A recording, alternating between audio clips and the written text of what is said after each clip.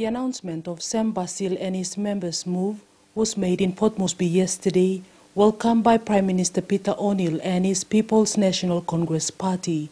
Their move now leaves only six Pangu Party members in the opposition.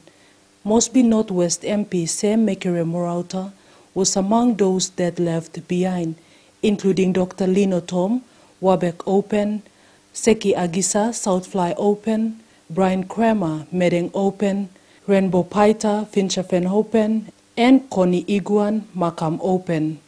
Sir Mekere, in an interview with NBC National News today, expressed dissatisfaction in the move by Mr. Basil and his Pangu parliamentary wing. I'm disappointed, but I also know uh, that uh, its leader has a right to make decisions. So I respect the decisions. So while I respect the decision, I am disappointed.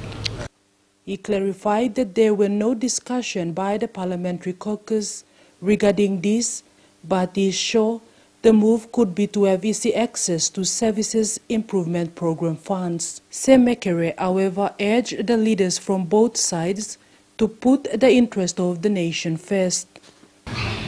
That O'Neill government in the last five years have destroyed institutions of state, have grown the culture of corruption, have interfered with law and order enforcement agencies mismanaged the public finances of the country. And when leaders move to his side, they're really condoning that very practice giving him the strength and confidence to continue to destroy the institutions and the future of the country. Meanwhile, he says the opposition is still intact. We now have to put that aside, regroup, and start the journey again.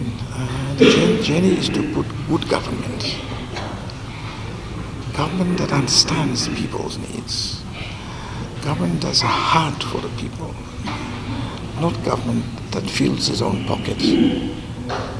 Sheila Malkin, NBC National